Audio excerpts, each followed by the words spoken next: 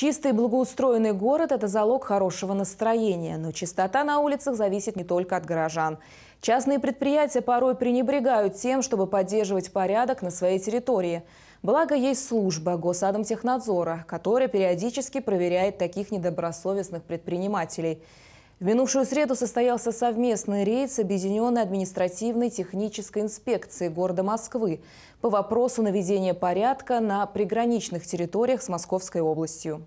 Жители Ленинского района стали внимательнее относиться к чистоте и стараются выбрасывать мусор в положенных местах. Работники коммунальных служб добросовестно делают свою работу, что позволяет поддерживать порядок во дворах. Но в городах и поселениях немало частных предприятий, хозяева которых должны сами следить за чистотой вокруг зданий.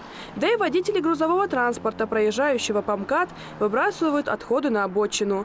Поэтому сотрудниками Госадомтехнадзора было принято решение очередной рейд провести именно именно на прилегающих территориях Ленинского района к Москве. Совместно с управой Южного округа Москвы они выявили нарушителей и выписали штрафы. Сейчас мы работаем с Южным округом, отработали с Юго-Западным округом. Назначено было штрафов нами на сумму около 500 тысяч рублей. И это все проходит совместно и достигается определенных целей, потому что добиваемся результатов.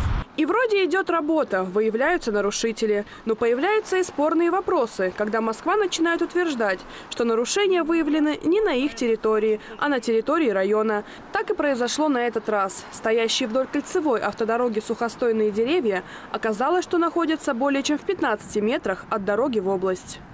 Если это и есть